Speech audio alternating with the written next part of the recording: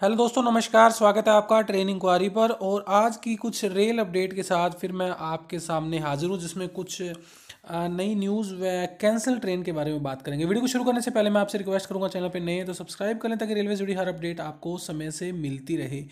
Jind Firozpur passenger.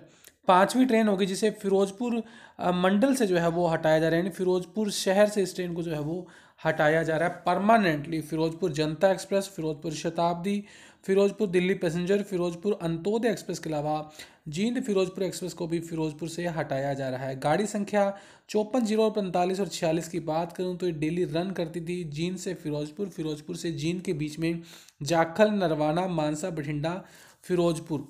के root के ऊपर। तो दैनिक यात्री जो थे इस सेक्शन पे, उनके लिए बहुत अच्छी ये ट्रेन थी, लेकिन इस ट्रेन को हटाया जा रहा है। ट्रेन के टाइमिंग की बात करें तो डेली जीन जंक्शन से सुबह तीन बजकर पच्चीस मिनट पर रवाना होती थी। बठिंडा लगभग आठ बजे पहुँचती थी, यहाँ लगभग दो घंटे रुकने के बाद दस बजे रवाना होकर बारह बजकर चालीस मिनट पर फिरोजपुर कैंट पहुँचती थी। तो 27 किलोमीटर प्रति घंटे की रफ्तार थी, इस डायरेक्शन में क्योंकि स्टॉपेज बठिंडा में ज़्यादा था। बेस पे आप देख सकते हैं कि इसको बताया गया कि परमानेंटली कैंसिल लेटेस्ट न्यूज़ है, उनतीस नवंबर 2021 को रेलवे बोर्ड की तरफ़ से नोटिस इशू किया गया इस ट्रेन के संबंध में। और वापसी की बात करें तो फिरोजपुर कैंट से ढाई बजे रवाना होकर ट्रेन रात को दस बजकर दस मिनट पर पहुँचती थी जींद जंक्शन। तो इस सेक्शन के यात्रियों के लिए बहुत ही बुरी खबर है, क्योंकि बठिंडा, जींद, फिरोजपुर, रात, रोहतक, ये पूरे सेक्शन से लगभग जो है वो चार ट्रेनें पहले हटाई जा चुकी हैं, जिसमें पाँचवीं ट्रेन को और हटा दिया गया है। नई ट्रेन तो मिल नहीं रही ऊपर से। एक डिवीज़न हेडक्वार्टर से पाँच ट्रेनों को किसी कोविड के बाद हटाना जो है वो सबसे बड़ी खबर होगी फिरोजपुर के लिए।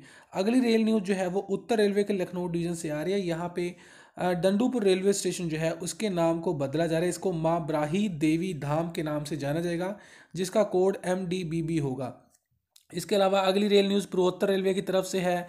बीस पाँच सौ एक, बीस पाँच सौ दो, अगरतला आनंद विहार साप्ताहिक राजधानी एक्सप्रेस जो तेजस के रैक के से चलती है, इस ट्रेन के रूट को डाइवर्ट किया जा रहा है। किशनगंज के बाद ये ट्रेन जो है वो मालदा, क्यूल, भागलपुर, जमालपुर होते हुए पटना और आगे सेम रूट से चलेगी।